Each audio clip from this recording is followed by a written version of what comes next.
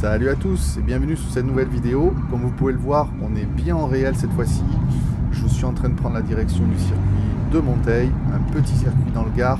Petit par la taille, il fait 1 km 100, mais côté historique, il n'a pas à se plaindre parce qu'il y a vraiment beaucoup de monde qui a tourné dessus et qui tourne encore, que ce soit Augier, que ce soit l'Aube.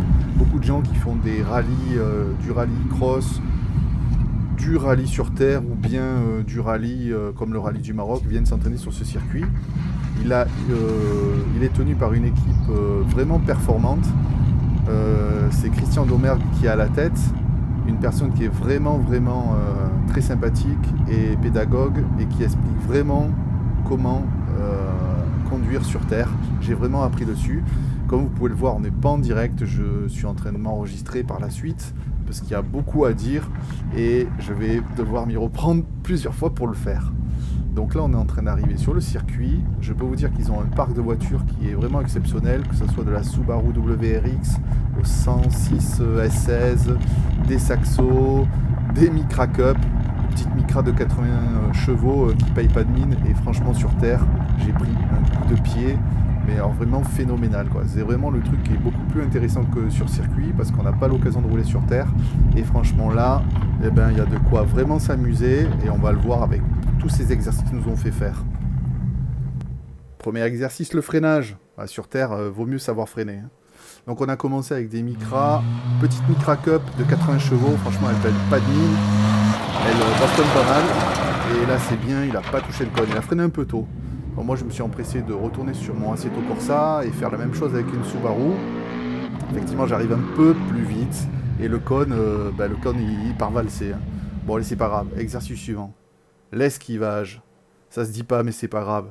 Le truc, c'est qu'il fallait, euh, voilà, tout en image, avec une Saxo VTS, voilà, il fallait freiner au dernier moment et éviter le mur qui était représenté par des cônes. Donc euh, évidemment dans le virtuel j'essaie de faire la même chose, j'arrive fort et je fais une esquive.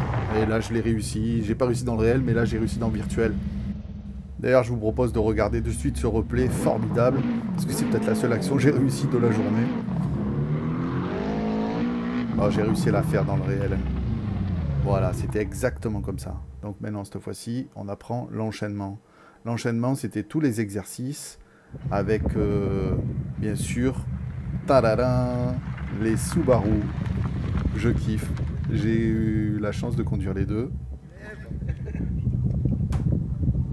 Donc là, il fallait combiner l'esquivage, arriver très fort dans le virage, freiner, faire un transfert de masse et accélérer.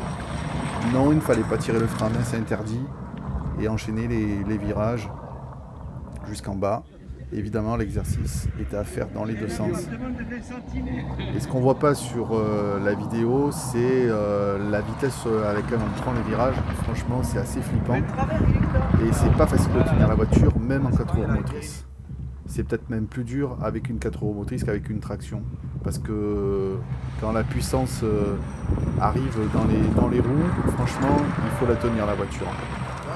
Mais c'est vraiment un plaisir à conduire. Enfin, le dernier exercice, l'enchaînement total sans freinage avec esquivage, c'était la totale. Il fallait le réussir pour euh, évidemment faire partie de l'élite. et le dernier virage était chaud parce qu'il fallait le prendre euh, de l'intérieur. Là, pas bien, il arrive trop fort, il bousille le cône. Pas bien. Donc, euh, on a recommencé l'exercice plusieurs fois jusqu'à réussir à la perfection. Je pense que sur ce passage, c'est pas trop mal.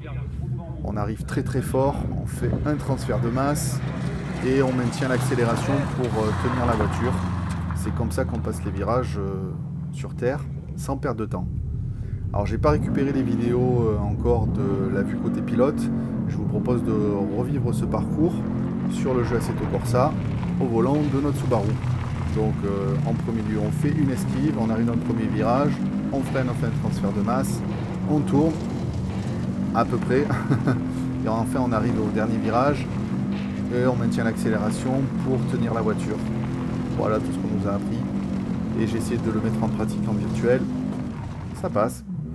On va revoir euh, l'action avec l'autre Subaru depuis euh, la vue du virage en contrebas. Quelques plots volent. C'est normal, c'est pour le fun. ce dernier virage à prendre tout en accélération, c'est vraiment terrible. Bah, maintenant, je me lasse plus de le passer en boucle ce virage. Je suis vraiment fan. Alors au final, du virtuel au réel, eh bien, je préfère largement le réel, bien sûr, mais euh, je suis pas mécontent du travail de modélisation que j'ai fait sur le circuit de Monteil. Il y a un bon rendu, même si assez tôt, c'est pas la meilleure simulation pour rouler sur Terre, mais euh, franchement, il y a de quoi s'amuser. Maintenant, il va falloir mettre en pratique tout ce que j'ai appris, aussi bien sur les anciennes modélisations que sur les nouvelles. Et je vous promets du très très lourd pour très bientôt. Franchement, cette session sur euh, le circuit de Monteil, c'était vraiment terrible et je me languis vraiment de faire la deuxième journée. Il y a plusieurs journées avec des niveaux euh, qui montent crescendo pour nous apprendre encore plus.